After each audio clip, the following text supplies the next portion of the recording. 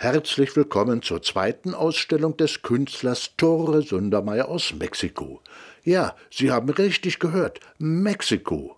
Ist das nicht ein bisschen weit für eine Ausstellung in Bonn in der Galerie Paquet?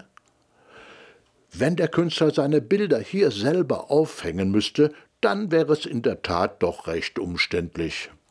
Aber er braucht gar nicht zu kommen, denn die Bilder kamen per E-Mail und wurden digital in den 360-Grad-Raum der Galerie eingebaut.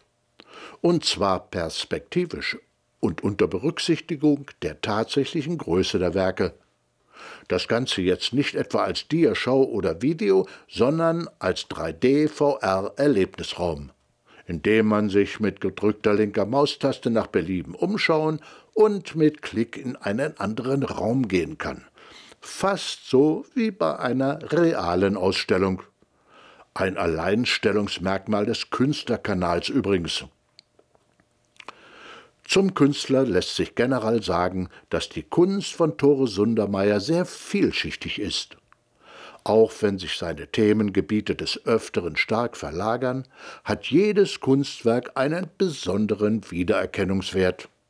Es ist die Art und Weise, wie er seine Linien führt, immer etwas zackig, unruhig und schnell. Bei den neuen Bildern wird die Farbe öfter in stark verdünnter Form auf vorgegebene Strukturen gegossen und dieser Prozess in vielen Schichten wiederholt. Der Liebe wegen hat es Tore Sundermeier nach San Luis Potosi in Mexiko verschlagen.